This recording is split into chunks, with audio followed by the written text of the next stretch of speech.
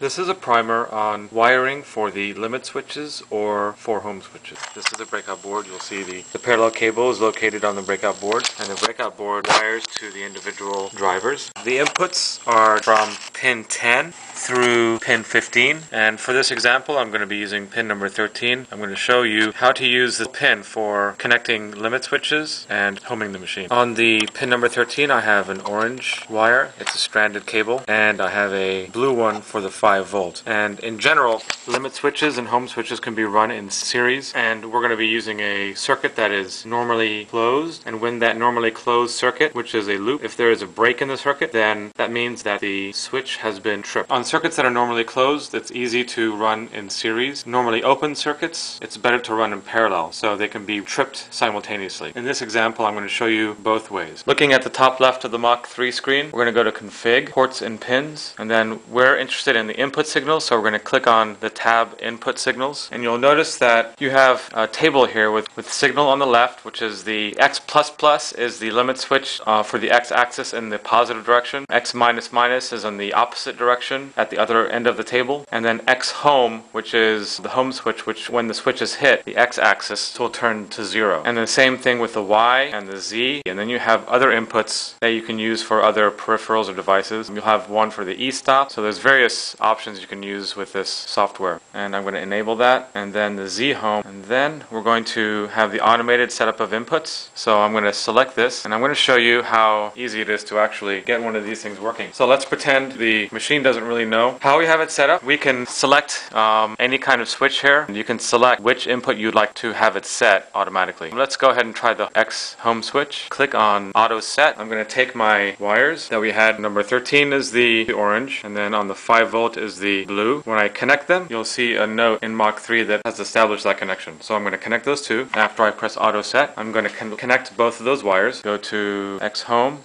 auto set and then connect to and you'll see that it's signal set to port number 1 pin 13 select next signal. So that's by touching the orange and blue together. That would be in a normally open circuit and then I just close the circuit. So we have our two wires orange and blue. The orange is set to pin number 13 and the blue is set to 5 volts. If I go to automated setup of inputs I'm going to pretend that this is a normally closed loop. So I'm going to put them together and then I'm going to auto set and once I remove them Signal is set to port number 1, pin 13, and I can go on to do my next signal. Now let's do this for a normally open circuit. Now it's open. I'm going to use auto set, and by the way, it's on the X limit switch, not the home. And once I touch these two together, it will set. So in one case you have a switch that is normally open, which we just showed, and then the other case we have a switch that is normally closed. And then once you break the connection, the switch is triggered. You'll also see that there's an active low setting, and this will correspond to the normally open or normally closed state of the switch. So let's show this again. We're going to do our automated setup of inputs, and then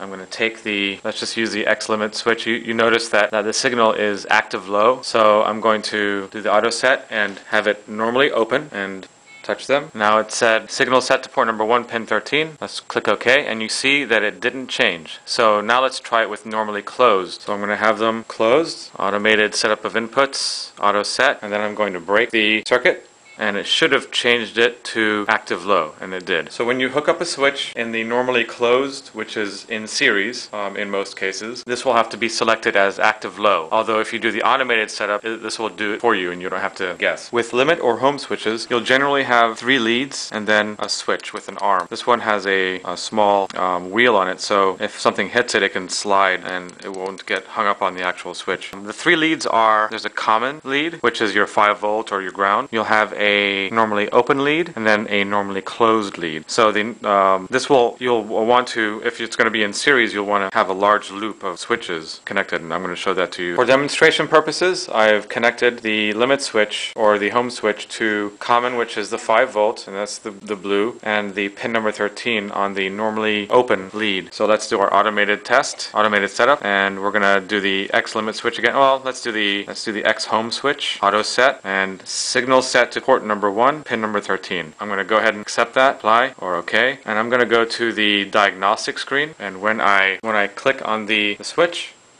you'll notice that limit switch and home and the two home switches they light up because all of those are set to 13 in the settings. With switches, um, you'll only be able to to run these um, the normally open circuit um, in parallel. That means one switch per pin. Um, that's not the same. That's not true with um, doing the homing with using the end mill. Um, you can still use the normally open, and then every time it hits uh, uh, or closes a circuit on on each uh, on sort of a piece of metal that is connected, then that would still work. But in switches, it's better to use normally closed, and I'm going to show you that in um, using two switches. So I'm going to disconnect this one. I'm going to I'm going to connect a smaller wire from the normally closed. Do it this way so there's no doesn't hit the other lead. And then I'm going to take another switch and connect that one to the common, and then loop it back through the normally closed connection. And now we have two wires that has a loop, or two switches. Now we have two switches that are looped from the 5 volts all the way back to number 13. Again, it's from the common, 5 volts to the common, to the normally closed, back to the common, to the normally closed, and then back to 13. So let's see what we have when we do our automated setup. We're going to go back to config, ports and pins, input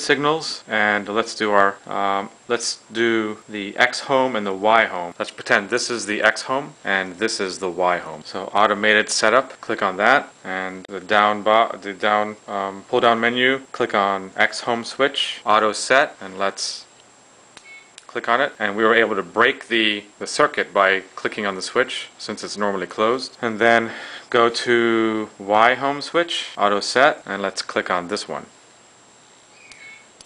and now we have the Y home switch set. Press OK, and you'll see that uh, because it's a, a normally closed, the active low was uh, enabled and the Y home active low was enabled. Although it is really handy to have switches to provide for the home position, it's it doesn't give you an accurate uh, representation of where the actual bit or the end mill is located. The best way to do that is to make your end mill the switch. As you know, the blue wire is connected to the 5 volts, and this orange wire is connected to the pin number 13. I'm going to use this to demonstrate how the bit can be used as a switch. So when the machine is homing, you can have this number 13 connected to a three-sided plate. So when the end mill is trying to find its home position, it goes up against the X plate, trips it. It goes up against the Y plate, trips it, and then it goes up against the Z plate and then trips it. And it, you'll get a perfect representation of where the where the home position is for the actual end mill. The first thing I'm doing is I'm doing an auto set to establish the pin number 13 for this end mill. So I've gone to the setup screen and auto set or the automatic um, setup of switches. Went to auto set for the X home. Clicked on auto set.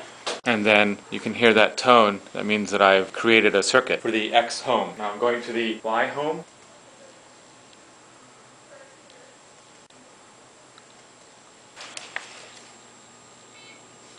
Establish the Y home. And now I'm going to establish the Z home.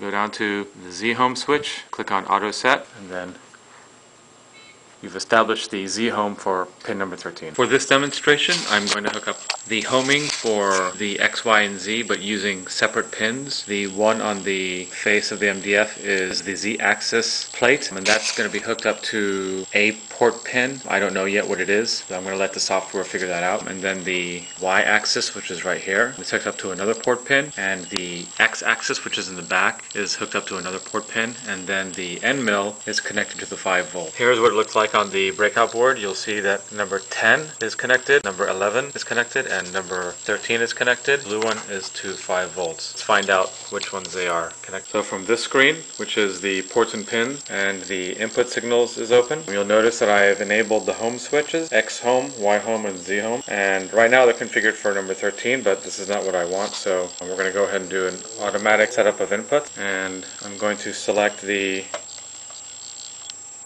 X home switch, auto set. I will just take this and connect it. And you'll see that it's connected to signal set to port 1, pin 10. Select next signal. Let's go ahead and do the Y. Auto set. We'll go to the Y, connect it. And this is set at port number 1, pin 11. And then we're going to go to Z. And I'm thinking it's going to be the number 13. Alright, it's set to number 13. Now we're going to go to the, I did it correctly, the home is 10, X home is 10, Y home is 11, and Z home is 13. So let's OK that.